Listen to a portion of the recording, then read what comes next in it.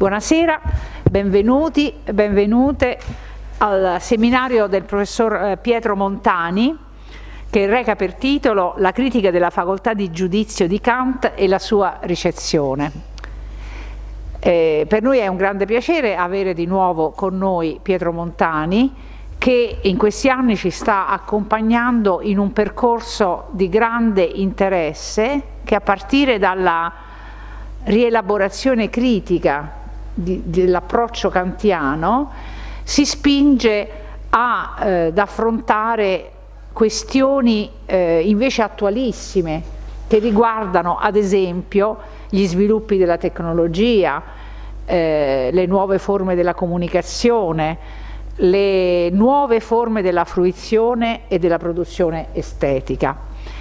Il seminario di questi giorni eh, rispetto a quanto abbiamo avuto già modo di eh, sentire in occasioni passate, eh, in qualche modo va alla radice di tutto questo, cioè torna fon sui fondamentali della lettura di Kant e in particolare della lettura della terza critica, che per Pietro Montani e per un anche vasta filone di ricerca attuale eh, ha una rilevanza fondamentale per la rilettura odierna del trascendentale, potrei dire. Vorrei ricordare che questo seminario si iscrive anche in una, diciamo così, a un format che abbiamo inaugurato o meglio particolarmente incoraggiato in quest'anno che è quello di affrontare una lettura ravvicinata di un testo classico per considerarne poi anche aspetti della ricezione. L'idea è evidentemente quella di eh, evitare un approccio esclusivamente archeologico, ma diciamo così, eh, piuttosto di eh, non, non, saltare diciamo così, il passaggio della, del contatto diretto con il testo, per tuttavia tener fermo all'idea che il testo si rinnoverà continuamente attraverso le nostre letture le nostre letture e le più importanti letture che di certi testi sono stati dati, almeno per esempio nel Novecento.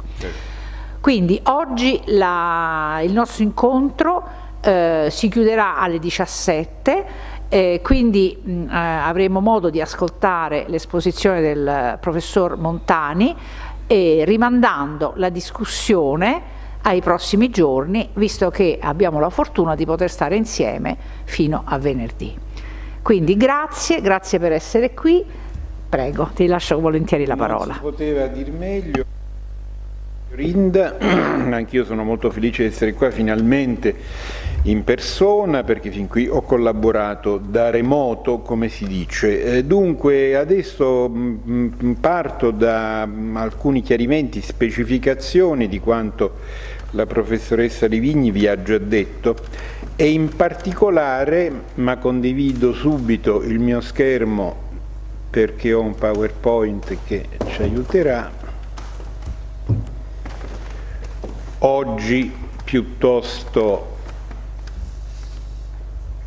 scritto da domani in poi più ricco di immagini come io prediligo, ma oggi dobbiamo impostare il problema anche con un contributo testuale significativo, eh, vorrei condividere due premesse appunto proprio relative a quel lavoro di ripresa, attualizzazione, far funzionare i testi nel presente, eccetera, di cui ci ha parlato adesso Fiorinda Livigni.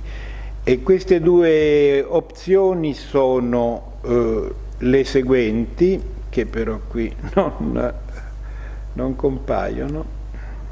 Com'è possibile? Ah no, eccole, eccole. Scusate, eh.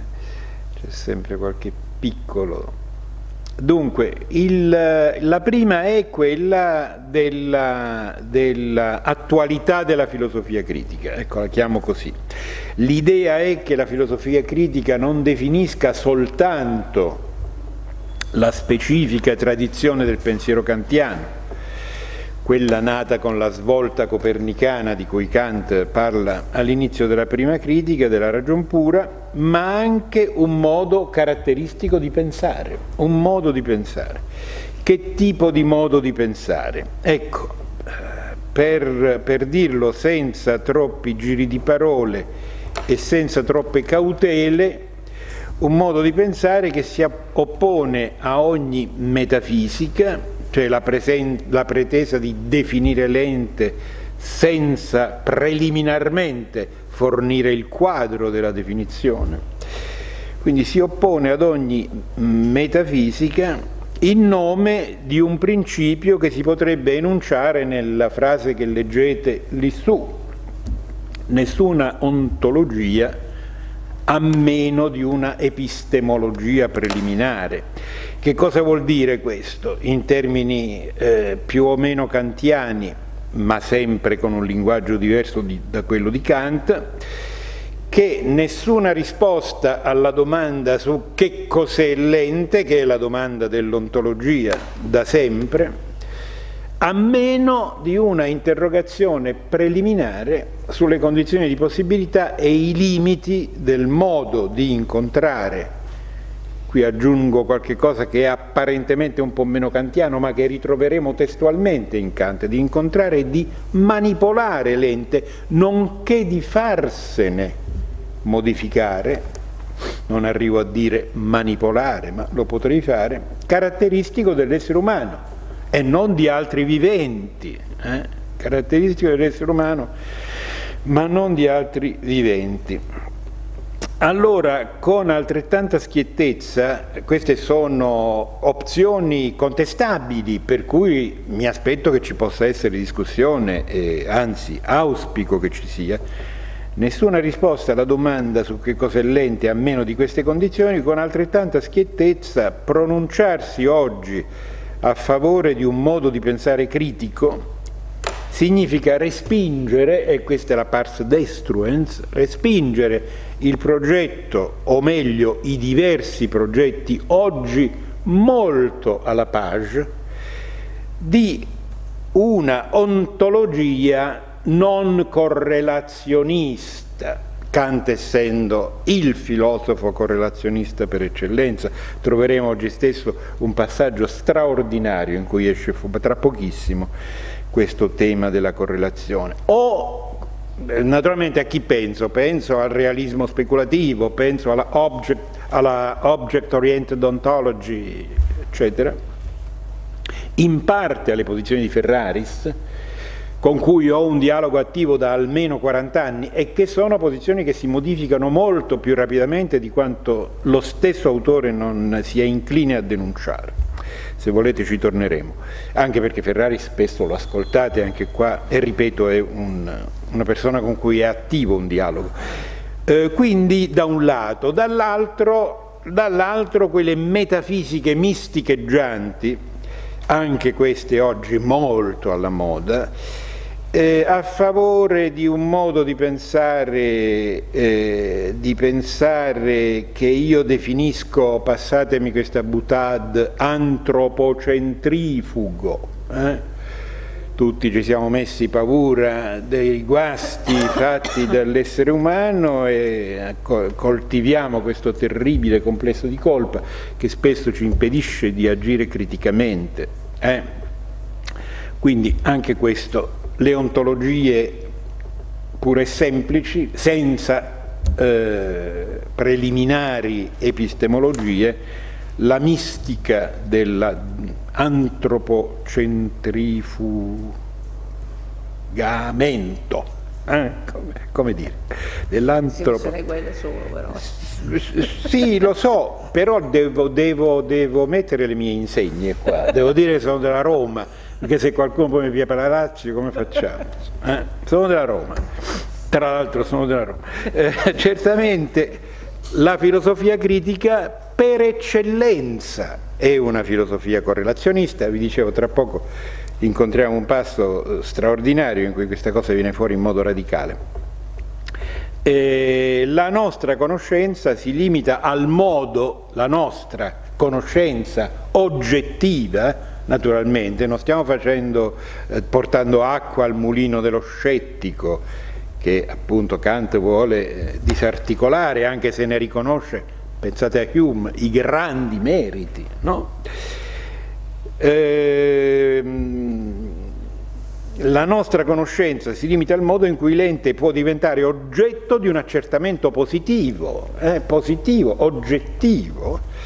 Da un punto di vista complementare si può anche dire, e questo interessa a me in particolare anche in rapporto ad altre discussioni che sono state fatte proprio in questa sede, per esempio sulla linguistica, che i significati linguistici non denotano le cose, denotano il modo in cui le cose diventano oggetto di riferimento e di manipolazione. Tant'è vero che assai saggiamente, come fa notare Heidegger in tante occasioni, i greci le cose le chiamavano pragmata, cioè roba con cui ho a che fare e avendoci a che fare sono qualcosa che risulta da operazioni costruttive di carattere cognitivo, ma anche costruttive di carattere manipolativo. Eh? Attenzione qui a un punto che mi sta molto a cuore e che mi faccio aiutare per condividerlo con voi da un autore per me molto importante che ritornerà in questo seminario più avanti naturalmente, Lambros Malafuris, autore di questo libro eh, molto bello che si chiama How Things Shape the Mind. È curioso che nella copertina che voi vedete, spero che la vediate bene, succede una cosa un po' diversa che potrebbe essere descritta come How Hands Shape the Things, eh?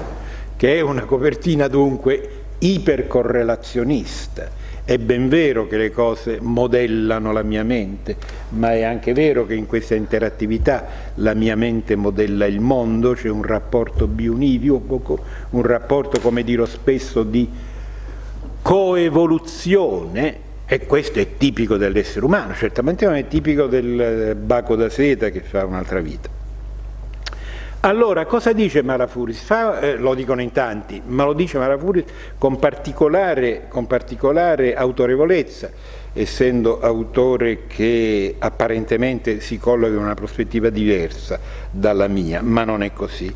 Eh, dice che to engage in anthropocentrism is to perceive the humans at the center of reality To engage in anthropomorphism, tutta un'altra cosa, eh, quindi esporsi con l'antropocentrismo significa una sciocchezza, mettere l'uomo al centro del mondo, che è una stupidaggine.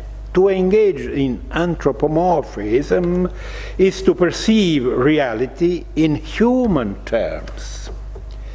E aggiunge eh, eh, Malafuris che sarebbe impossibile anche solo immaginare che cosa significherebbe per noi umani vivere e pensare in assenza dell'apparato metaforico costituente su cui poggia la nostra percezione del mondo, destra, sinistra, questo è un tema kantiano se volete.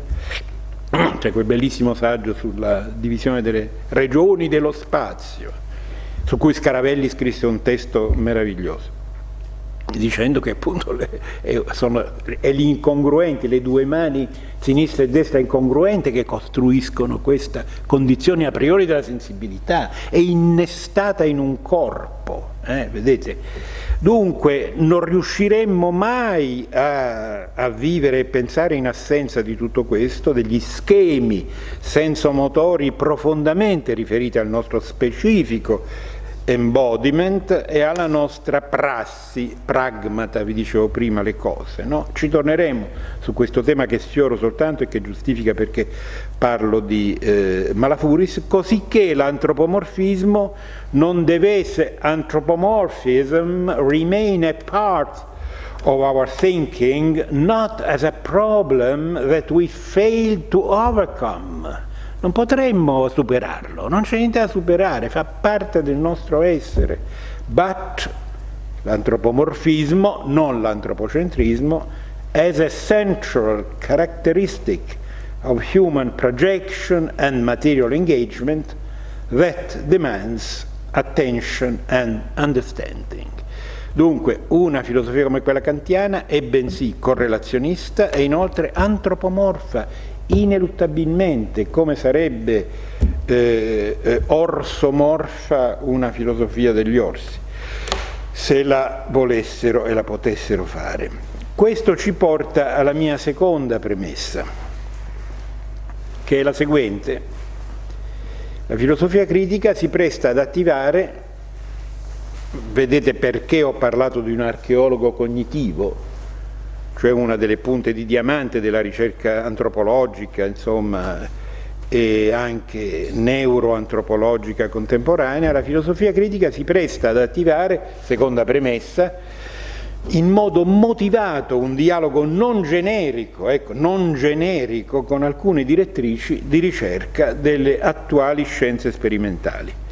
Per esempio, appunto, per esempio eh, le neuroscienze, la paleoantropologia, l'archeologia cognitiva, la psicologia sperimentale. Questa seconda premessa esplicita il modo in cui leggeremo insieme a voi, leggerò insieme a voi la critica della facoltà di giudizio, vale a dire, come già anticipava Fiorenza Livigni, eh, Fiorinda Livigni, l'opera con cui nel 1790 Kant porta a conclusione l'impresa critica, l'esposizione sistematica dell'impresa critica, ma al tempo stesso ne ripensa in modo innovativo alcuni presupposti, tra cui lo stesso trascendentale. Lo stesso trascendentale che in quest'opera, e lo vedremo, viene definitivamente sottratto ad ogni comprensione innatistica noi nasceremo, c'è stata questa comprensione, ancora in tempi recenti nasceremo con questi schemi già belli e fatti, neanche per sogno eh, eh, modifica questa comprensione innatistica e la ripensa in modo intimamente temporale. Eh? Intimamente, troveremo già oggi qualcosa che va in questo senso, intimamente temporale, epigenetico potremmo forse dire, eh, voi sapete che questa parola compare almeno una volta nelle tre critiche, in un celebre paragrafo della Ragion Pura, che non a caso è l'ultimo paragrafo della Ragion Pura, perché Kant dice questo, il 27 è l'ultimo paragrafo che mi sente, perché d'ora in poi il mio discorso può andare avanti in modo molto più libero da una distinzione in paragrafi, e lì si parla di questa epigenesi dei concetti puri dell'intelletto. Che cosa vuol dire Kant? Glielo dobbiamo tirare fuori perché non ce l'ha detto. C'è un bellissimo libro di Catherine Malabou che è stata qui a discutere con noi noi l'anno scorso eh, in cui questo tema è sviluppato in modo straordinariamente persuasivo. Kant intende dire che si tratta di puri e semplici presupposti d'ordine, criteri generalissimi d'ordine, questi concetti puri dell'intelletto, la cui vita determina il loro medesimo modo d'essere lo troveremo subito questo tema. Perché? Perché guarda caso è questo il tema della, della critica della facoltà di giudizio, meglio ancora, il tema epistemologico della critica della facoltà di giudizio che non è soltanto un libro che si occupa di epistemologia, come è ovvio. E quindi, mm, ripeto, eh, vedremo questo tra pochissimo in un passo celebre del quarto paragrafo dell'introduzione che leggeremo insieme. Tutto questo comporta una certa torsione antropologica, di cui mi prendo la responsabilità condividendola con voi e ne, ne, discutiamo se la cosa vi sembrerà impresentabile. Ma per leggere Kant, per far funzionare Kant, nella nostra situazione attuale, io ho bisogno di questa torsione antropologica che consiglio e dalla quale mi riprometto di tirar fuori dei risultati che cercheremo di condividere insieme. Eh, che vuol dire eh, qui che la torsione antropologica ci consente di fare una lettura produttiva del testo kantiano? Significa almeno tre cose che ora vi dico. La prima è non tirarsi indietro, e non lo farò, dovunque il testo kantiano consenta una riformulazione del suo testo perspicua nel vocabolario delle discipline che ho appena nominato, per esempio il termine epigenesi è una cosa che Kant una volta usa, è un apax, ma eh, ci capiterà invece di mh, autorizzarci ad usarlo anche in altri luoghi testuali in cui si vede che Kant vuol dire quello, sta parlando di quello. Primo punto. B non tirarsi indietro dovunque il testo kantiano mostri di poter cooperare. Kant dal 1790 cooperare con problemi, singoli problemi definiti con i protocolli delle scienze sperimentali. Per esempio il linguaggio. La questione che mi è capitato di sviluppare in questa sede, questione terribile delle origini del linguaggio, su cui oggi si lavora, come voi sapete, al contrario di cento anni fa, quando era addirittura stata proibita, oggi si lavora, Kant ci aiuta in questo. E che cosa? Lo schematismo di Kant, la questione dello schematismo. Terzo punto, questo è ancora il più, dire, il più avanzato, non tirarsi indietro per scrupolo filologico o che altro sia, dovunque il testo kantiano si dimostri in grado di sollecitare le scienze sperimentali di oggi, nell'individuazione di nuovi oggetti di indagine e nella messa a punto di domande più specifiche, per esempio tra tutte l'estetica, come adesso andremo pian piano a interrogarla e a capire in ultima analisi che cos'è e di che cosa si tratta.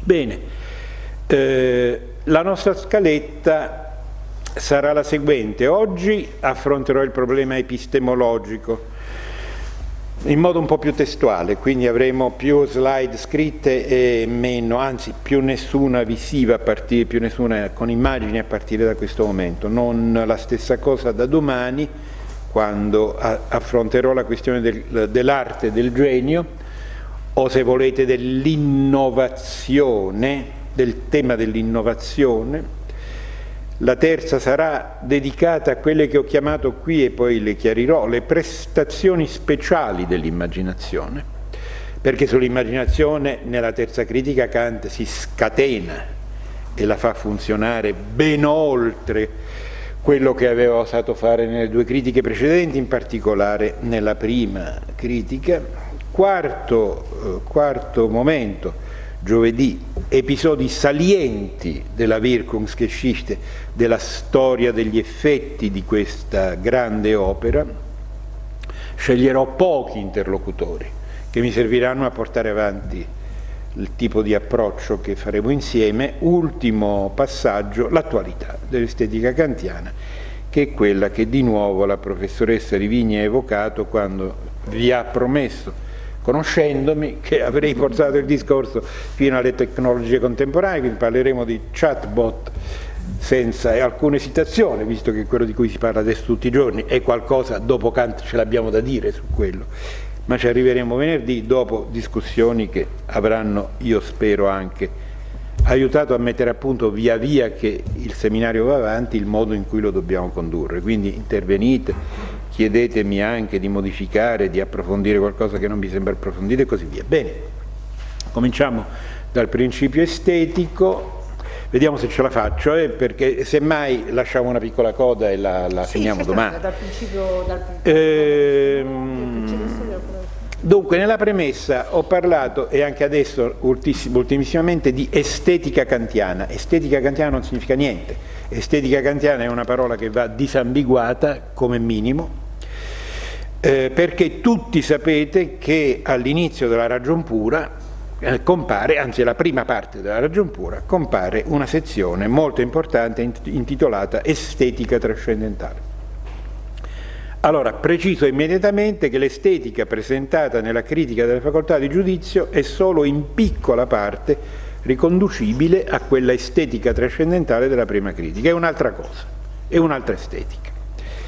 Che cosa sia l'estetica trascendentale lo sapete tutti perché sono conoscenze minimali che considero eh, scontate per voi, ma se non lo fossero chiedete, l'estetica trascendentale è un esame delle forme a priori della sensibilità o dell'intuizione, aistesis sensibilità in greco, donde estetica, che sono lo spazio e il tempo.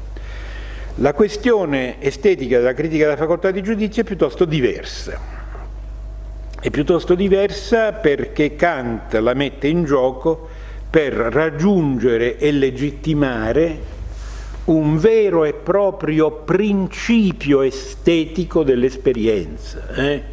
Quindi una cosa molto pesante dal punto di vista dell'apparato teorico della filosofia critica, un, è un nuovo principio, perché non c'è nella ragion pura, che suppone nel momento in cui viene prodotta di aver esaurito i principi di cui abbiamo bisogno. Nella ragion pura non c'è ed è un principio estetico, un principio molto particolare, c'è un, passo, un passo in cui Kant lo, lo definisce abweichend, deviante, eh, anomalo, perché non è un concetto, ma è un sentimento, un Gefühl, è un principio che è un Gefühl. Eh? Questo principio è un sentimento, dice Kant, di piacere e dispiacere, tutti questi punti li dovremo tutti esaminare, anche perché nei primi 22 paragrafi parlerà solo del piacere e il dispiacere lo vedremo comparire soltanto dopo. È un principio di piacere e dispiacere, un sentimento di piacere e dispiacere, che comporta anche su questo punto il mio maestro, dichiaro i miei debiti subito, perché il 90% di quello che ascolterete io l'ho appreso da Emilio Garroni con cui ho studiato e che è stato il mio maestro, il 10% salendo sulle sue robuste spalle era un omone l'ho visto e lo metto insieme a voi, ma senza quelle spalle non ce l'avrei. E l'altro, elemento, il modo in cui Garroni amava riformulare questo questo sentimento di piacere è capacità di prendere le distanze. È il famoso disinteresse così orrendamente frainteso da un'enorme genealogia della storia della filosofia. Vi leggerò poi, non oggi né domani, ma più avanti un passo di Heidegger che ci insomma, fa venire la pelle d'oca su quanto si possa errare nell'interpretare i testi filosofici. Quindi la capacità di prendere le distanze dalla pressione del contingente, eh? questo aspetto che Kant qui chiamerà libero gioco, ma ci arriveremo testualmente. No? Eh, questo, questo principio estetico che non è nella ragion pura, non c'è, benché sia un principio parimenti utile e necessario come quelli della ragione, non meno di quelli della ragion pura, per spiegare la nostra conoscenza. Non per spiegare il modo in cui proviamo piacere o guarda caso se ci, ci, ci piacciono le opere d'arte, se ci piacciono le opere d'arte, ma il modo in cui conosciamo, il modo il nostro modo di fare conoscenza. Quindi un problema che è presente di fatto nella ragion pura, non poteva non essere presente di fatto, ma che Kant nella ragion pura, no, e ora vedremo qual è questo problema, ma che nella ragion pura Kant non tratta eh, criticamente, lo assume. C'è questo problema, è una cosa che facciamo. E beh, il filosofo critico vuole capire a che condizioni e se c'è un principio che me lo spiega.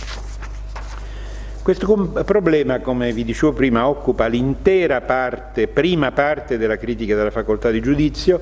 Userò questo titolo, che è il titolo dell'edizione Garroni.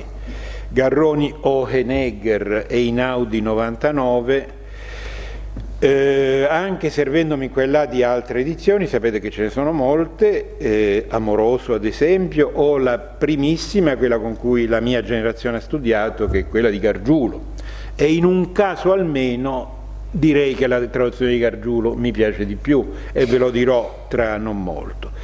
Quindi è un problema che viene espresso con grande chiarezza all'inizio del paragrafo quarto dell'introduzione definitiva che ora leggiamo. Dell'introduzione definitiva al testo, Kant ne scrisse due, non mi posso soffermare su questo, ma se siete interessati lo facciamo una discussione perché ce n'è da dire su queste due diverse introduzioni, una la lasciò completamente, è stata poi ritrovata molti decenni dopo. E, mentre adesso usiamo quella definitiva molto più concisa, quindi nel paragrafo quarto di questa introduzione laddove eh, Kant introduce il, eh, la distinzione tra giudizio determinante e giudizio riflettente, di cui ora ci occuperemo, e poi nei paragrafi 5 e 6 della stessa introduzione lo articola facendo emergere l'ambito della soluzione critica di quel problema e la soluzione stessa compare nel paragrafo settimo dell'introduzione. Ora facciamo insieme rapidamente questo percorso. All'inizio del paragrafo quarto Kant distingue tra due modalità del giudizio determinante e riflettente.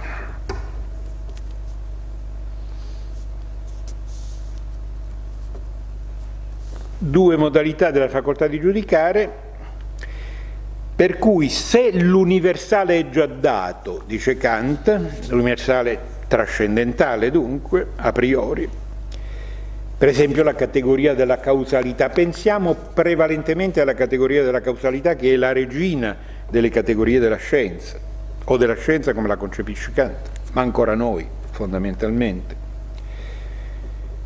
Se è dato già l'universale, il giudizio sarà determinante. Eh, poco avanti Kant fa questo esempio. Questa modificazione che io vedo ha una causa. Questo è un giudizio determinante. Eh? Questa modificazione ha una causa. Quando invece è dato solo il particolare, dice Kant, e l'universale deve essere trovato, costruito, ipotizzato, inferito, sono tutti equivalenti, mm, ipotizzato, inferito, trovato, ci troviamo di fronte al giudizio riflettente, rimanendo nello stesso ambito della causalità, e qui prendo un esempio che sta nella ragion pura, ma è più utile di altri, qual è la causa specifica per cui il calore del sole ammorbidisce la cera e indurisce l'argilla? Cioè la stessa causa e modo d'essere causa in infinità di modi diversi. E questo io voglio conoscere, o meglio ancora, siccome noi umani ci appassioniamo a questo tipo di conoscenza, ci interessa criticamente sapere com'è che le facciamo, come le costruiamo e come mai anche abbiano tendenzialmente successo queste conoscenze. Questo è il problema della, della terza critica, dove nei due, nei due, pezzi che vi ho letto, quando l'universale, l'universale deve essere trovato, quando è dato, quando deve essere trovato, la parola universale indica due cose molto diverse.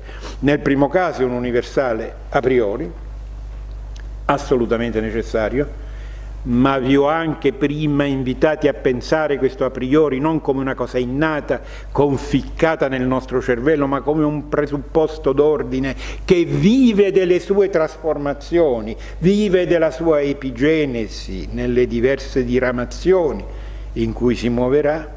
Nel primo caso si tratta di quel presupposto, nel secondo si tratta di un universale empirico, empirico, d'accordo? Per esempio, e tornerò su questi esempi che ovviamente è conveniente prendere dalla scienza in senso stretto, le orbite dei pianeti sono ellittiche, eh? questo è un universale, una regola, una legge ottenuta a un certo punto da un signore che si chiama Keplero sulla base di osservazioni eh, divergenti che lo portano a questo tipo di ipotesi di inferenza funzionante.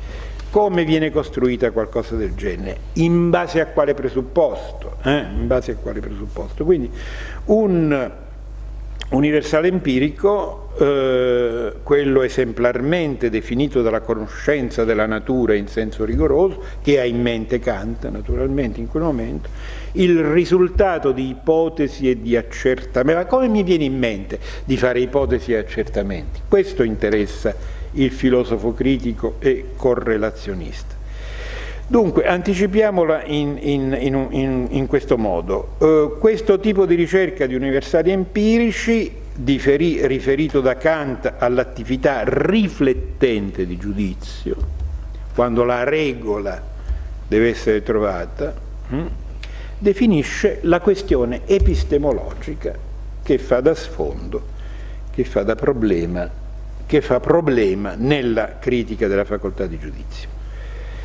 Questa ricerca di leggi empiriche è un dato di fatto, come dicevo prima, già in, in ragion pura. Noi la facciamo.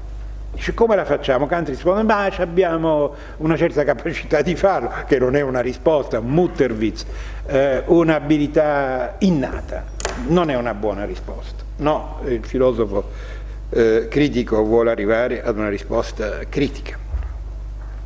È un dato di fatto del nostro, del nostro caratteristico modo di conoscere non del modo di conoscere del porcellino di terra o del eh, orso evocato prima. È un dato di fatto, cioè che l'attività legislativa spontanea dell'intelletto umano non sia altro che una sequenza di specificazioni e di applicazioni particolari. Per questo il tempo è così importante. Ma a che condizioni noi la intraprendiamo questa ricerca? Perché ci metteremmo a ricercare? Leggiamo adesso il modo in cui Kant presenta questo problema critico eh, che non è in ragion pura anche se il problema c'è, ma non è presentato criticamente. Ecco cosa dice Kant.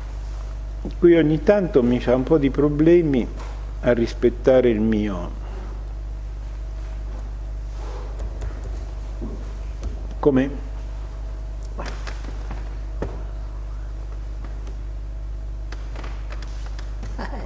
Introduzione per paragrafo quarto. Normalmente lo facevo. Allora, questo abbiamo già visto, la facoltà determinante di giudizio sotto leggi trascendentali, universali, date dall'intelletto è solo sussumente la legge le è prescritta a priori essa non ha bisogno di pensare per se stessa una legge per poter subordinare all'universale il particolare della natura. Ogni muta, questo mutamento ha indubbiamente una causa. Eh, non devo pensare a nient'altro che alla categoria, al concetto puro di causalità che già funziona in questo frame, di cui vi ho però invitato a cogliere anche gli elementi di flessibilità. Che il mutamento che io vedo, per esempio il sole ha indurito l'argilla, io lo percepisca in termini di causalità, è la condizione stessa per la quale io lo incontro appunto come un mutamento e non come un evento puntiforme, forse ripetibile e forse no. D'accordo? È già molto allora dal punto di vista di quest'ordine che il nostro modo di esperire, di conoscere, di sopravvivere ci porta a performare, che il mutamento lo percepisco in termini di causalità è la condizione stessa per cui lo incontro come mutamento e non come una cosa rapsodica che una volta c'è, una volta non più, come caos, d'accordo? E questo è qualcosa che nella ragion pura Kant fa risalire allo schematismo oggettivo dell'intelletto. Non posso entrare in questa discussione, se volete centriamo. La discussione in cui potremmo entrare è eh, accennata dalla parentesi. Kant lì lo chiama schematismo dell'intelletto, ma è l'immaginazione che glielo fa. L'intelletto arriva a cose fatte e unifica, è l'immaginazione che deve fare un enorme lavoro, che Kant in ragion pura descrive anche in modo molto efficace, molto efficace. Deve preparare il materiale sensibile affinché l'intelletto possa operare la sua sintesi spontanea e quindi l'immaginazione fa un sacco di lavoro. L'immaginazione un po' sacrificata, conoscete la storia della ragion pura che Kant riscrive in due volte in alcuni passaggi determinanti perché si era reso conto che si era sbilanciato troppo nei confronti dell'immaginazione. Ve lo dico in modo molto semplificato. Non è questo il nostro ordine di problemi, ma se volete nella discussione ci possiamo tornare. Dunque questo schematismo oggettivo eh, eh, è qualcosa che grazie al quale l'immaginazione garantisce l'applicabilità di quei presupposti d'ordine che l'intelletto produce spontaneamente al materiale sensibile, ma lo lascia a quel livello di generalità, oggettiva bensì, ma molto generale. Ogni mutamento ha una causa. Va bene? È qualcosa che riguarda lo schema. Ed ecco il, il passaggio che ci interessa, su cui nasce, viene enunciato il problema epistemologico della della critica della facoltà di giudizio. E questo è uno di quei passi in tedesco che non mi ricordo più qual era quel lettore di Kant che diceva che doveva usare tutte e cinque le dita delle mani per le subordinate perché sennò alla fine non riusciva più a capire cosa diavolo avesse detto. È come se siete lettori di Kant sapete che Kant abbonda in questo e questo ne è uno solo che ci sono così molteplici forme della natura. Vedete che la molteplicità è il tema della, della, della critica facoltà di giudizio. Non mi basta dire questo mutamento ha una causa, ma sì, ma che causa è?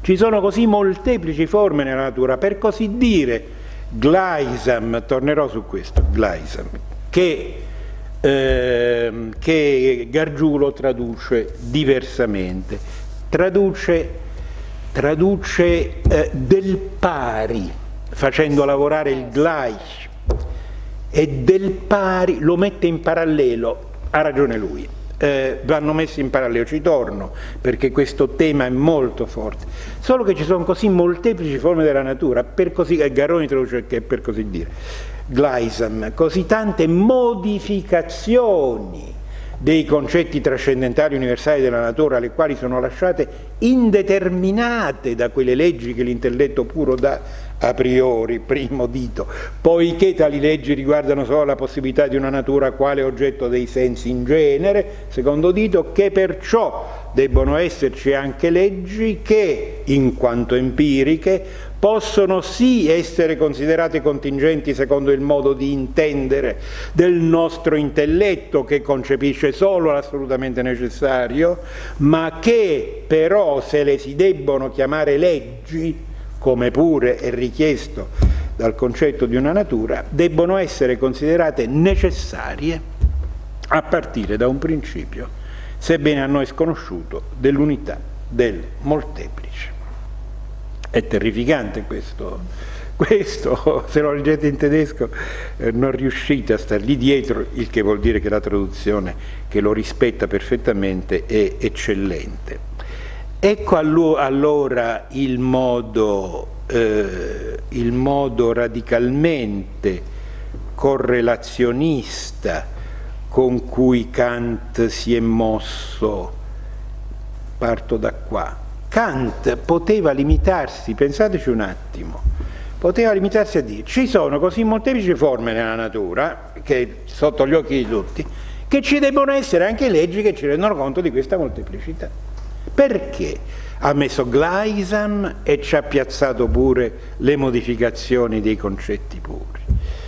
Ipercorrelazionista. Eh, per certi aspetti il problema sarebbe stato enunciato in modo anche più chiaro, ma Kant invece ha correlato, guardate questo punto qui è per me della più grande importanza, Kant ci dice l'enorme modernità, semmai questa parola ha senso per un autore di, tre, di 200 anni fa, eh, l'enorme modernità di, di Kant dal punto di vista del rigore epistemologico. Kant ha correlato la molteplicità delle forme della natura a un apparato cognitivo che le incontra proprio secondo il profilo di quella differenziatezza. Siamo noi che incontriamo così il mondo. Eh? Vi vedo perplessi. Pensate che anche l'orso assassino di cui tutti parliamo, l'orsa, incontra il mondo nello stesso modo? No, incontra un mondo orsesco come diceva Wittgenstein, eh? se mai potesse parlare il leone userebbe un, un, un, linguaggio leonino e parlerebbe di un mondo leonino che sarà altrettanto complicato del nostro, ma il nostro è fatto così, noi cerchiamo questa roba qua e questo implica che c'è, ma ci arriveremo, coevoluzione tra le strutture cognitive che noi adoperiamo e il mondo dentro cui abitiamo. È per questo che il mondo umano è diventato un mondo storico e così via e così via. Kant dice appunto che le cose stanno così, la molteplicità delle forme va accolta in parallelo, ecco perché il vecchio Gargiulo forse ha tradotto meglio, Gleisam, del pari, e del pari sono tante le modificazioni, con la plasticità del nostro riceverle ed elaborarle in vista di un ordinamento cognitivo. Le due cose procedono insieme. Ecco perché il correlazionismo è per me una pregiudiziale epistemologica irrinunciabile, eh, d'accordo? E tutto il resto è metafisica, metafisica bella e buona. Eh, la molteplicità delle, delle, delle, forme va accolta dunque in, in, questo, in, questo, in questa relazione, c'è complementarità c'è complementarità tra la prestazione plastica della mente umana, ma qui come vedremo meglio questa mente, questa che ho chiamato mente, Kant la tematizzerà in tutta la critica essenzialmente come immaginazione, Einbildungskraft. C'è complementarità tra l'immaginazione è il modo in cui la mente umana interagisce con i dati reali, con il molteplice sensibile e se ne fa degli schemi. Siamo noi animali umani a ritrovarci in un ambiente così caratteristicamente differenziato. Così caratteristicamente differenziato, così ricco di molteplicità un ambiente differenziato che tuttavia non è un caos, non è un caos. E perché non è un caos? Perché noi non facciamo altro che organizzarlo in modo tendenzialmente sistematico, su questo tendenzialmente tornerò proprio alla fine del seminario di oggi con un bellissimo passaggio del sesto capitolo, del sesto paragrafo dell'introduzione perché noi non facciamo altro che organizzarlo in modo tendenzialmente sistematico, cioè procedendo a sussumere sotto leggi empiriche più generali, canta in mente Newton in questo momento, la più generale di tutte, eh?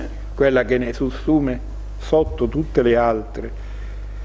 Un ambiente, eh, scusate, eh, non facciamo altro che sussumere sotto leggi empiriche più generali, singole leggi empiriche particolari, fino a quel momento irrelate, eh, puntiformi, ma che soltanto da quel momento in poi entrano a far parte della costruzione di un sistema coerente fin dove è possibile, che fa da pandan con il tendenzialmente di prima, fin dove è possibile, canta ben chiaro questo, fin dove è possibile, un sistema coerente delle leggi della natura fino a unificarle se ci riusciamo. Lo stiamo facendo ancora oggi? Ma certamente, ma certamente. Nessuno si è accontentato della incompatibilità tra paradigmi descrittivi di fenomeni fisici eh, apparentemente non conciliabili, struttura corpuscolare, ondulatoria e quel che volete. Lo scienziato continua a lavorare con la forte persuasione che questa unificazione prima o poi si ottiene. E canta le idee molto chiare su questo, poi ci arriveremo alla fine.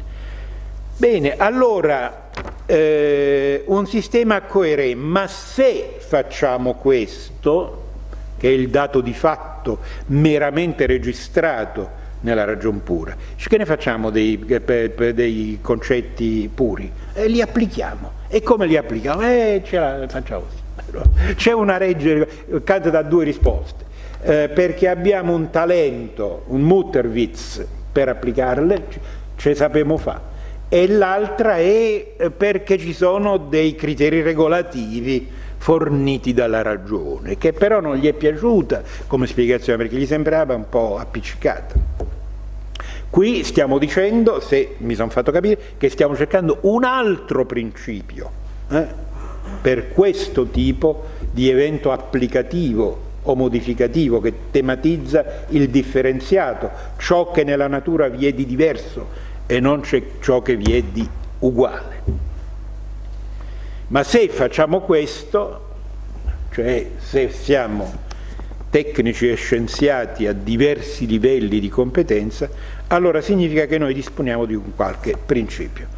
E dunque la facoltà riflettente di giudizio che ha il compito di risalire da ciò che è particolare nella natura all'universale, universale empirico naturalmente, ha quindi bisogno di un principio che non può trarre dall'esperienza, eh? non è un principio empirico, perché esso deve appunto fondare l'unità di tutti i principi empirici sotto principi ugualmente empirici ma superiori e quindi la possibilità di una subordinazione sistematica tra di essi.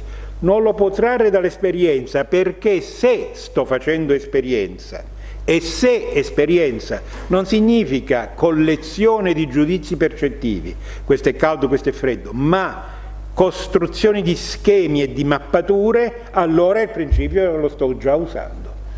Se sto facendo già esperienza, il principio è già attivo. D'accordo? Siete persuasi? Funziona? Qual è l'immagine che lui sta, immagine all'epoca potentissima, oggi rimessa in discussione? È una struttura arboriforme, eh? Rami più piccoli che danno rami più grandi fino, se possibile, alla legge che spiega tutto. E in quel momento principi newtoniani spiegavano un numero enorme di fenomeni, d'accordo? Eh, un tale principio trascendentale, e questo punto dobbiamo seguire bene, eh? Un tale principio trascendentale la facoltà riflettente di giudizio può quindi darlo come legge solo a se stessa, non lo può ricavare empiricamente, eh? lo, lo, può dare solo a se stessa, e è autonomo, dirà Kant in un altro passaggio non ricavarlo da altrove, che altrimenti sarebbe facoltà determinante di giudizio, ma entreremmo in un tipico cerchio vizioso o regresso all'infinito, perché dovrebbe essere un principio che mi dice quando posso applicare il principio precedente. Né, state attenti che questo è un passaggio complicato, né lo può prescrivere alla natura, cioè può dire la natura si conforma a questo principio, questo è un tema formidabile di tutta la critica e a maggior ragione della seconda parte la critica della facoltà teleologica del giudizio, quella relativa agli organismi, agli esseri organizzati. State attenti, un tale principio trascendentale, la facoltà riflettente di giudizio, può quindi darlo come legge solo a se stessa, eh? è un principio del giudizio, genitivo oggettivo, eh, non ricavallo da altrove, che altrimenti sarebbe facoltà determinante, né può prescriverlo alla natura, poiché questa, la natura, non si regola sulle condizioni secondo le quali cerchiamo di ottenerne un concetto che è del tutto contingente rispetto ad essa, oscura questa, ora ve la spiego. Qual è questo concetto? Questo concetto è semplicemente che anche nelle sue leggi empiriche infinitamente differenziate, l'ha detto prima, ci sia un ordine. Questo noi lo possiamo dare al giudizio, questo input, affinché il giudizio vada a cercare l'ordine, ma mai potremmo darlo alla natura dicendo la natura è stata costruita da un demiurgo eh, geniale come un organismo o come un'opera della tecnica. Eh? Questo è un presupposto, come dirà Kant, soggettivo. Badate, soggettivo in tutta quest'opera, ve lo dice chi ha fatto 20.000 esami su questo testo, soggettivo significa non oggettivo, eh? non che vale per me ma non vale per te ma non vale per lui significa no. Quando Kant vuol dire un giudizio soggettivo nel senso che vale per me ma non vale per la signora qui davanti, usa la parola privat urteil, eh? non subjective. Uh, qual è dunque questo, questo, questa regola, questo concetto che è del tutto contingente? che noi non possiamo non presupporlo se soltanto ci mettiamo alla ricerca, ma che non possiamo attribuire, vedete il, il rigore metodologico di Kant, non possiamo attribuirlo alla natura, faremmo metafisica. Eh? La natura è teleologica, ci sono scopi di natura, balle dirà Kant nella seconda parte. Scopo di natura è qualcosa che serve al giudizio per operare su quegli enti particolari che sono gli enti auto-organizzati ma rientra comunque nella condizione di un principio solamente soggettivo, un principio per il giudizio. Eh? Un principio per il giudizio. Non può prescriverlo perché appunto un concetto che è del tutto condiviso, cioè, come vi dicevo prima, e tenetelo a mente, che anche nella grande eh, eterogeneità delle leggi empiriche ci sia un ordine e che l'ordine sia quello che ha in mente Kant, un ordine verticale, non orizzontale. Eh? Questo è un tema che potrebbe essere toccato, ma insomma forse esula un po'. La, la, la mappatura dell'esperienza della, della, dell organicamente connessa in Kant. Eh? La modernità su questo ha dato molti strattoni, ma Kant la pensa in questo modo. Dunque è un principio che non è empirico, non lo ricaviamo dall'esperienza, perché se è vero che facciamo esperienza ciò significa che già sta funzionando, che non è nemmeno oggettivo perché lo possiamo riferire soltanto al giudizio, l'autentico oggetto critico della critica della facoltà di giudizio è questo principio del giudizio eh, riflettente. Kant l'ha definito fin qui in modo, come avete visto, prevalentemente negativo, eh? non è oggettivo non è empirico, eh, non è intellettuale naturalmente, che se fosse intellettuale sarebbe giudizio determinante, ce l'avrei già eh, come ce li, ce li hanno gli organismi automatici che hanno principi d'ordine di carattere totalmente computazionale.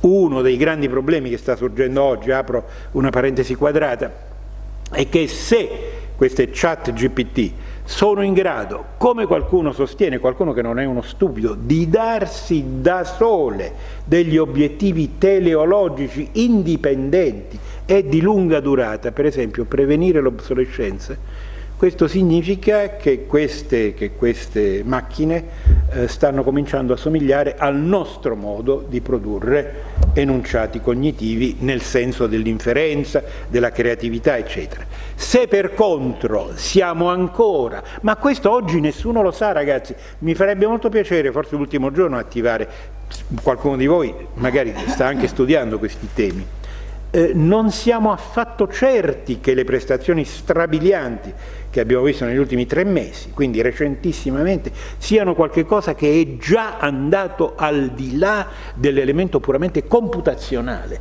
cioè se l'intelligenza artificiale continua a lavorare solo computazionalmente, oppure, cioè con il calcolo e con la potenza inaudita del calcolo, oppure se non siano entrati, non introdotti ma autoprodotti elementi di teleologia, che significa voglio vivere un po' di più, eh?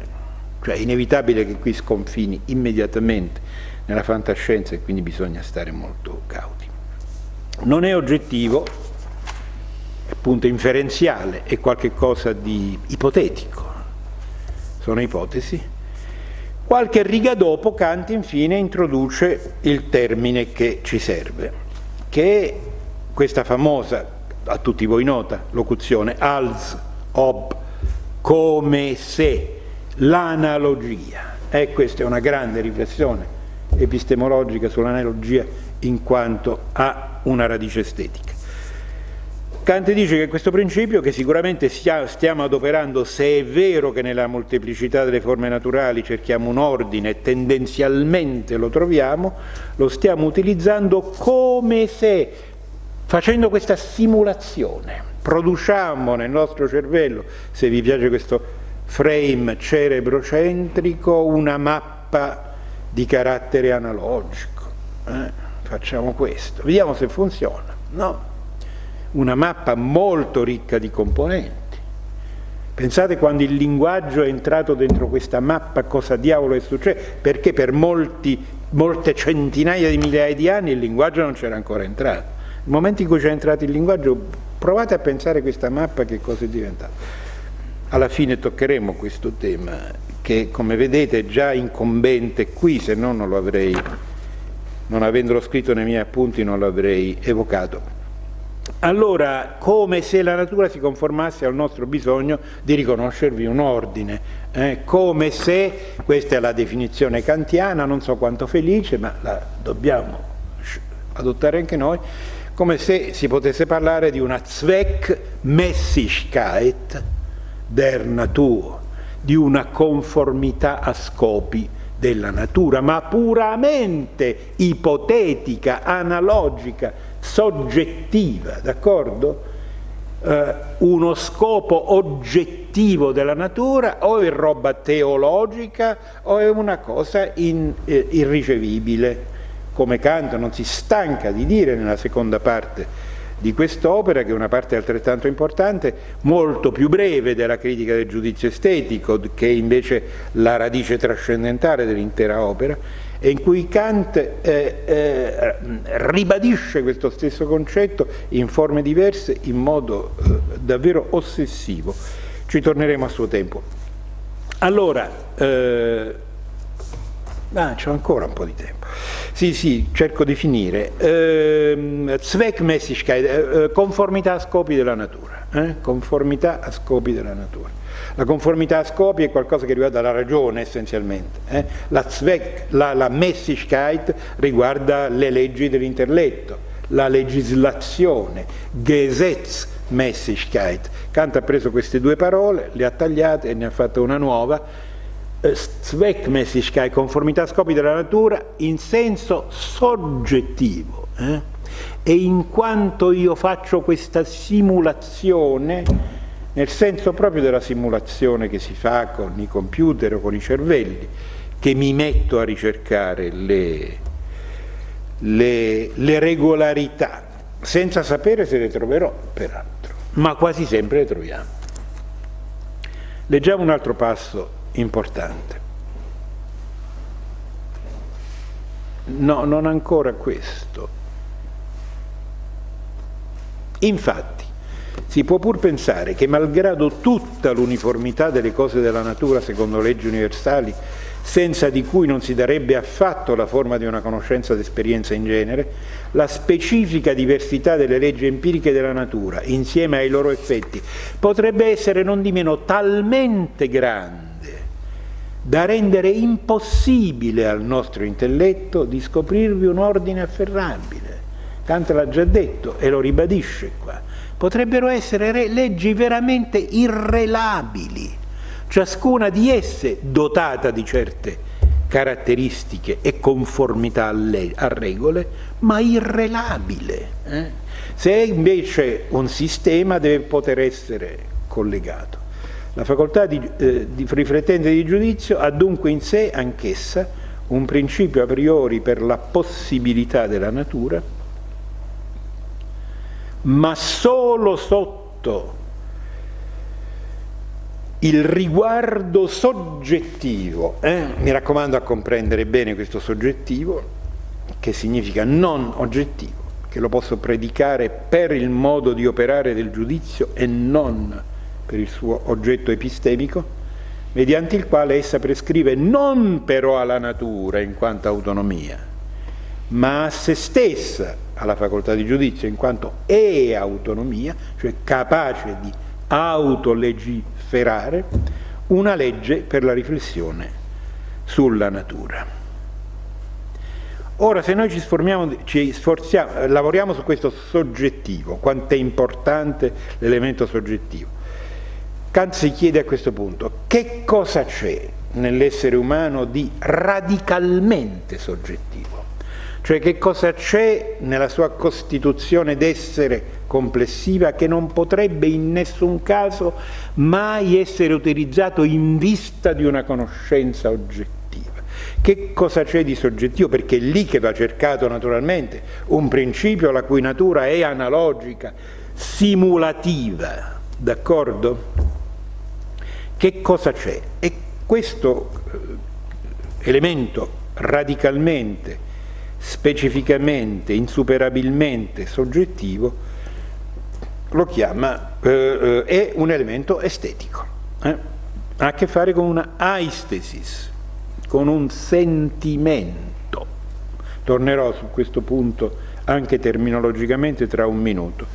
E Kant lo presenta come un Lebensgefühl, sentimento vitale, Lebensgefühl, come un sentimento di piacere e dispiacere, ma in tutta l'analitica del giudizio di gusto di cui ci stiamo occupando adesso parlerà solo del piacere, pur cause pur cause, ma il dispiacere lo dovremo andare a ritrovare più avanti. Kant lo dice appunto nel, nel paragrafo settimo, che prima era comparso,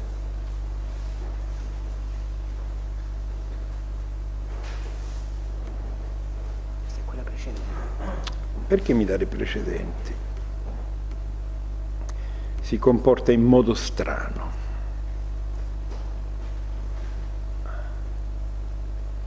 Eccola.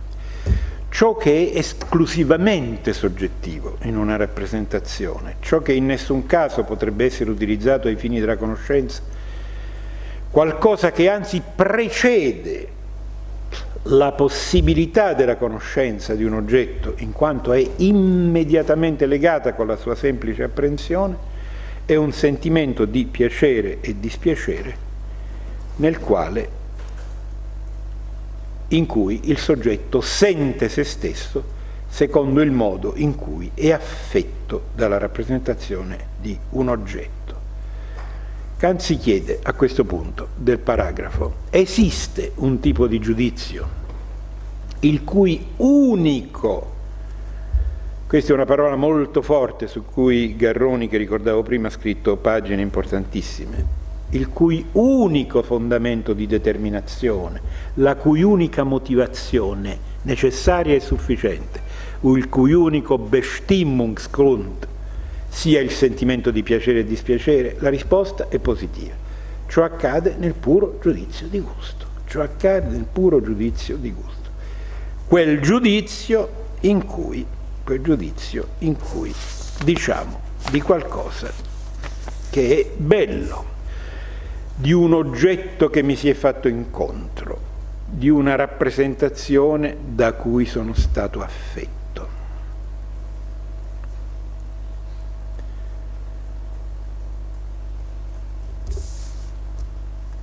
Vediamo se qui avevo segnato qualche altra cosa da dirvi prima di passare e concludere in tempo con queste ultime considerazioni.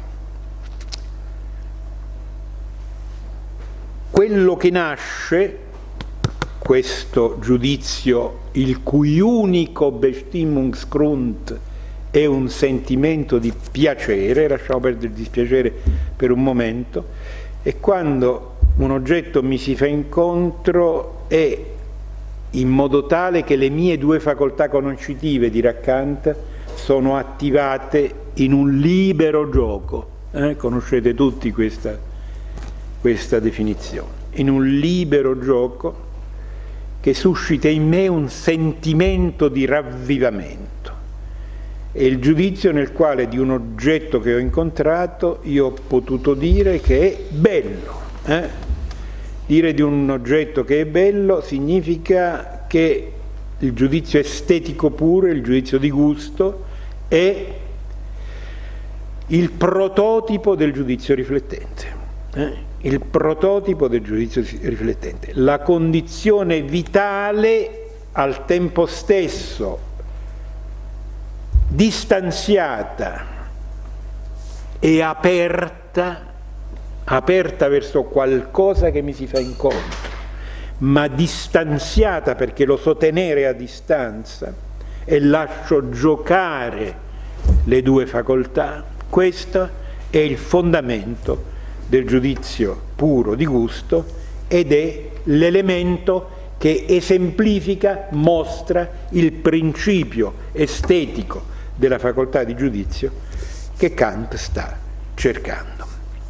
L'analitica del bello preciserà questa situazione secondo queste tre modalità che vedete nella slide, che questo sentire non è solo un sentire, ma è anche riflessivamente un sentir sì ed è anche un consentire, eh? un sentire insieme a qualcuno, cioè ha costitutivamente qualcosa di riflessivo e di comunitario.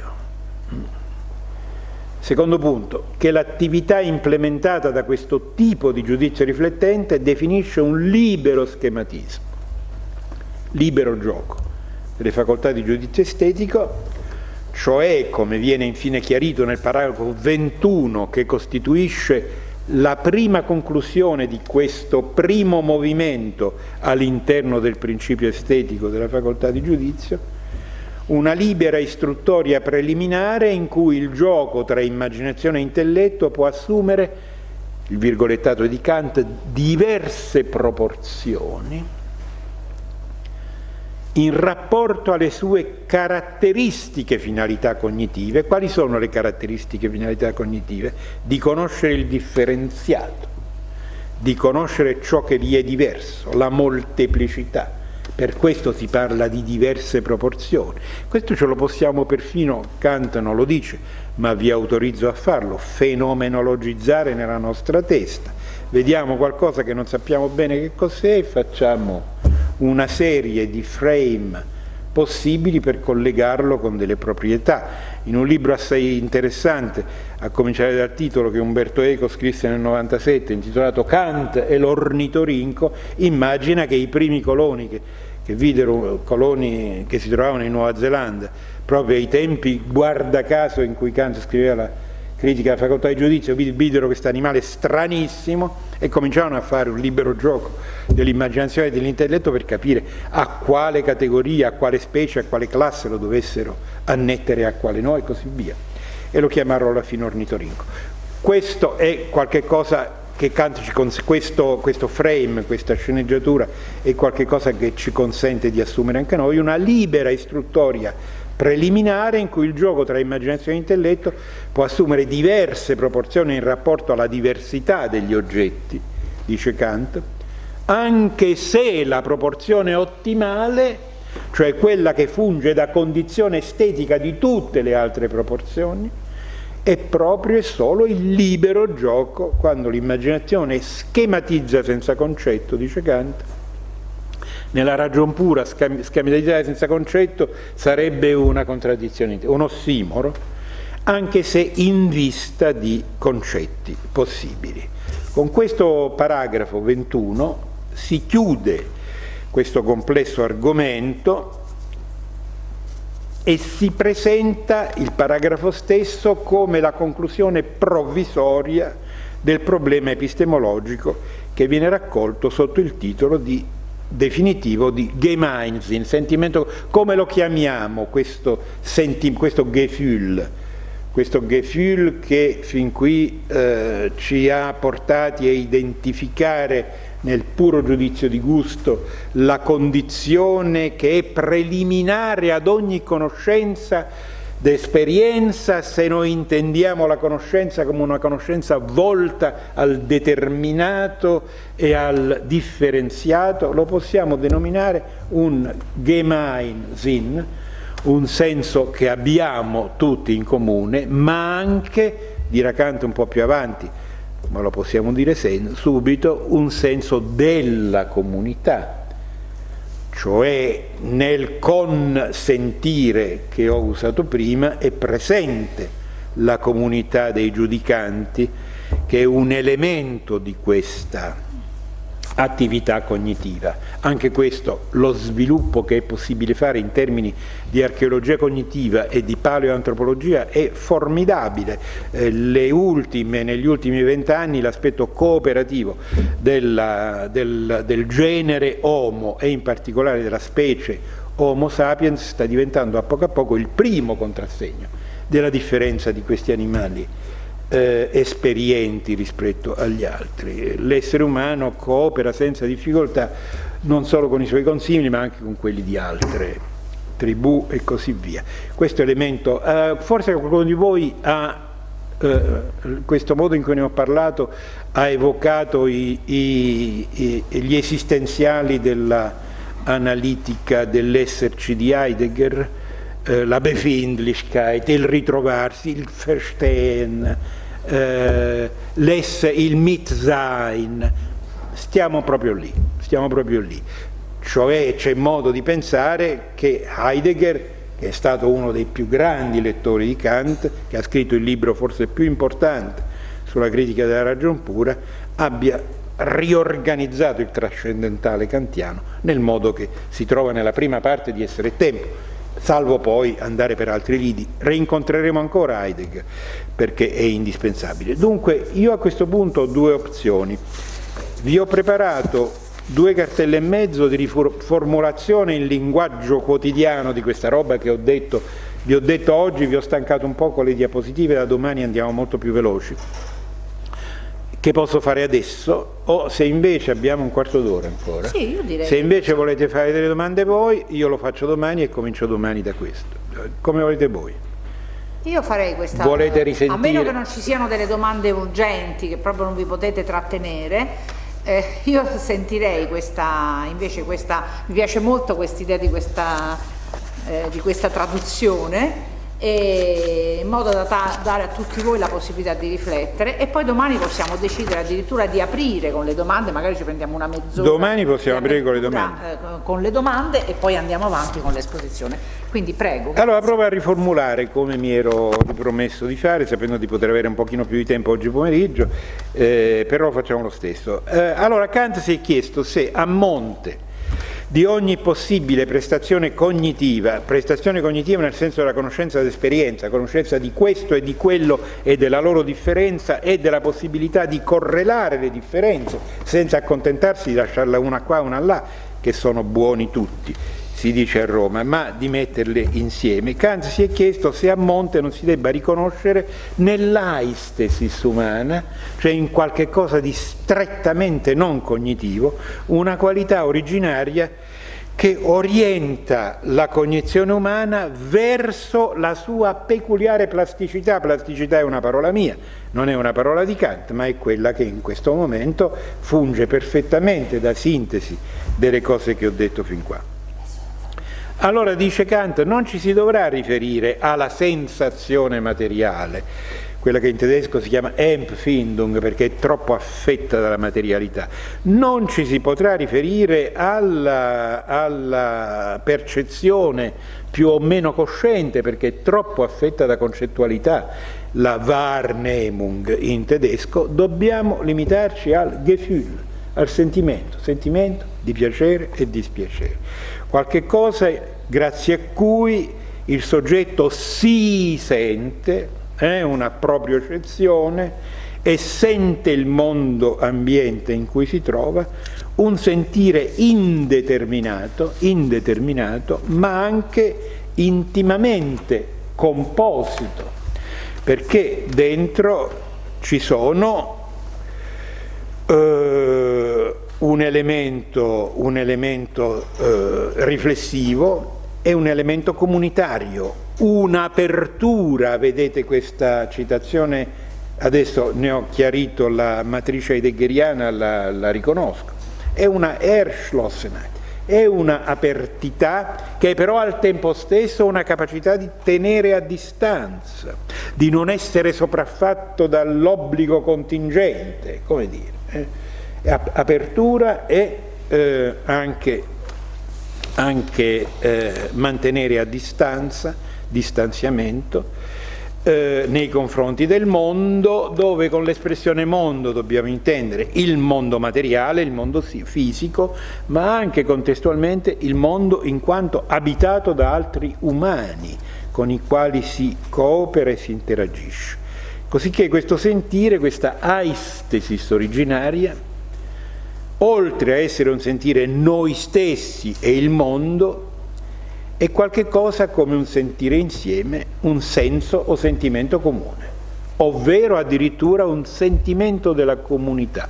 Nel paragrafo 40, su cui Anna Arendt ha fatto un grande lavoro, per chi è interessato, Kant eh, sviluppa in particolare questo aspetto del Gemeinsinn come eh, eh, Gemeinschaftlicher Sinn, un sentimento della comunità.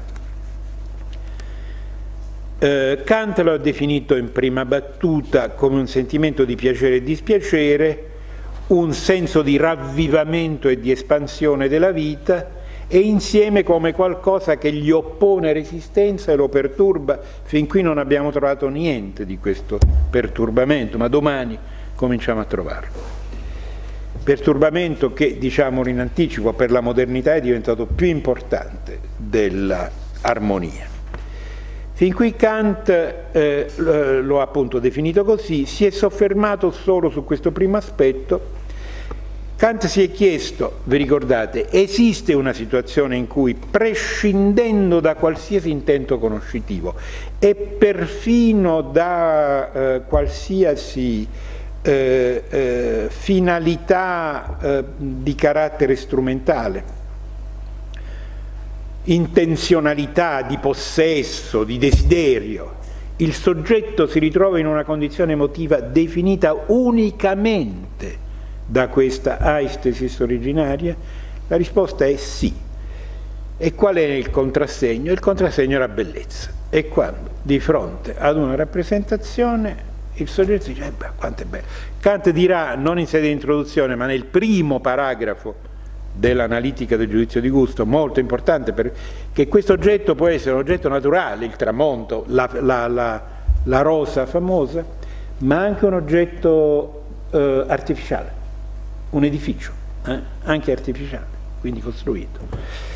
Quindi il soggetto si trova in una condizione emotiva definita da questa, da questa comparsa di un oggetto che del tutto liberamente senza alcuna ricerca intenzionale ci si è presentato davanti agli occhi, ha messo in libero movimento immaginazione ed intelletto, accordando l'una con l'altra senza alcuno scopo determinato, la famosa disinteresse, così orrendamente frainteso dalla storia della filosofia, e ha detto, o non lo ha detto, è bello. Eh? Questa è la sanzione e questa è la situazione emotiva che definisce il giudizio estetico allo stato puro, un giudizio che, la cui unica motivazione, il cui unico Bestimmungsgrund è un sentimento di piacere, un sentirsi in accordo con qualcosa che ci è venuto incontro.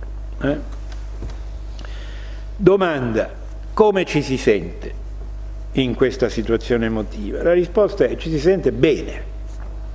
E perché ci si sente bene? Ci si sente bene perché le cose, quelle naturali ma anche quelle artificiali, danno talvolta segno di venirci incontro con favore, eh? come se, vedete l'analogia, la simulazione come se ci volesse, si lasciassero accordare con il nostro bisogno di percepire il mondo come un ambiente adatto a noi. Ci infilo una componente paleoantropologica che non è kantiana. Kant ha scritto una fondamentale antropologia che toccherò nell'ultima giornata di questo seminario. Come se fosse stato progettato stato per noi, ma deve essere soggettivo, altrimenti sarebbe teologico, una metafisica teologica. un mondo che si accorda con le nostre facoltà conoscitive e con la nostra capacità di farne un'esperienza differenziata, in questo diversa da esperienze che fanno altri viventi. Ma anche perché contestualmente noi avvertiamo che ciascun altro si deve poter sentire in quelle stesse condizioni qualora gli, la stessa, gli capiti la stessa cosa perché fa parte del piacere che io provo sapere che c'è qualcun altro che sicuramente lo proverà. Da ultimo, nel paragrafo 21, Kant ha raccolto nel concetto di Gemeinsinn questa situazione emotiva, al tempo stesso originaria, quindi semplice e complessa, perché è molte cose insieme, rimarcandone tematicamente l'aspetto epistemologico. È solo in virtù di questo principio che il giudizio riflettente si, mette, si autorizza da solo a fare delle ipotesi, a produrre delle congetture, a proporre delle inferenze, delle abduzioni, come diceva quel grande kantiano che fu Peirce. Altrimenti non lo faremmo. Naturalmente non dovete pensare che il ricercatore primitivo che noi qui stiamo fantasticando producesse nel suo pensiero, nel suo linguaggio interno, magari ancora non ce l'aveva, un enunciato di questo genere. Questo enunciato è qualcosa che il pensiero critico deve presupporre come la condizione per cui noi ci mettiamo a ricercare, eh? Con la fiducia che qualcosa troveremo. La passione della ricerca, dice il pathos della ricerca. Dice un grande eh, neurofisiologo scomparso da poco, eh, Punk Zepp, forse qualcuno di voi lo conosce, scomparso qualche anno fa, eh, che identifica le emozioni elementari rispetto alle quali il vivente, non necessariamente l'essere umano, ha potuto costruire i primi apparati cognitivi, la prima è sovraordinata a tutte le altre, non è affatto il bisogno, la fame, il desiderio sessuale, è la ricerca, seeking è la prima, cioè mettersi alla ricerca per, per avere conforto che il, il, mondo in cui mi trovo è abitabile. E questo Kant lo sta dicendo per una eh, classe di viventi che è caratterizzata dal fatto che esperisce in questo modo qua esperisce il differenziato, esperisce la molteplicità delle forme. Attenzione, le, la quale molteplicità gleisam come se anche fosse la stessa cosa della modificazione dei concetti che l'intelletto mi fornisce a priori, i quali concetti non sono nient'altro che questa modificazione e questa epigenesi, perché una modificazione epigenetica non si dà d'un colpo e così via. Vedete quanto tempo c'è dentro il trascendentale, quale Canto lo sta ripensando, come vi dicevo all'inizio di questo seminario, in, in, questo, in questa terza critica. Ultima cosa è una citazione che vi avevo promesso e ora ve la leggo.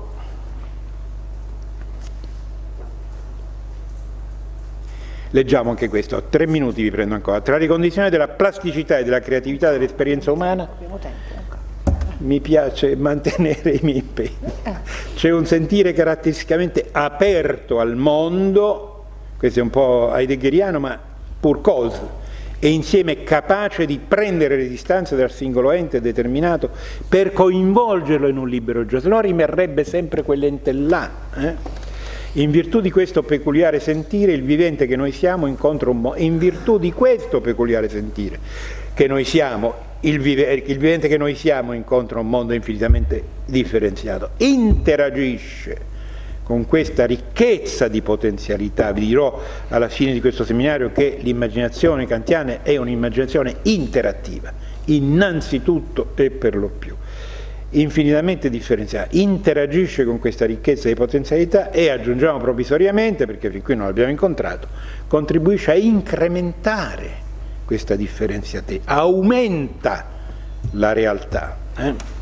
Un mondo differen differenziato ma ordinabile per quanto possibile. Vi ricordate all'inizio vi ho detto, voglio tornare su questo, come Kant dice con chiarezza in questo meravigliosa, con cui chiudiamo, passaggio del sesto paragrafo. Questa presupposizione, vedete come la chiama? Molto leggera, Voraussetzung, niente di più che una presupposizione della facoltà di giudizio e tuttavia così indeterminata su quanto debba estendersi quella ideale conformità della natura a scopi per la nostra facoltà conoscitiva che se ci si dicesse che una più profonda o più vasta conoscenza della natura mediante l'osservazione debba urtare alla fine contro una molteplicità di leggi che un intelletto umano non può ricondurre a un principio, noi pure saremmo soddisfatti.